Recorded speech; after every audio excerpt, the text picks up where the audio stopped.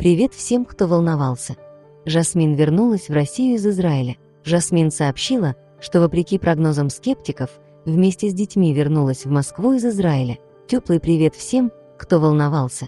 Вот и прилетели домой. Дети не захотели расставаться с бабушкой Соней и ее божественными чебуреками, поэтому она решила поехать с нами. Звезда рассказала, что 86-я летняя бабушка давно хотела в Москву, но не решалась сделать это на старости лет.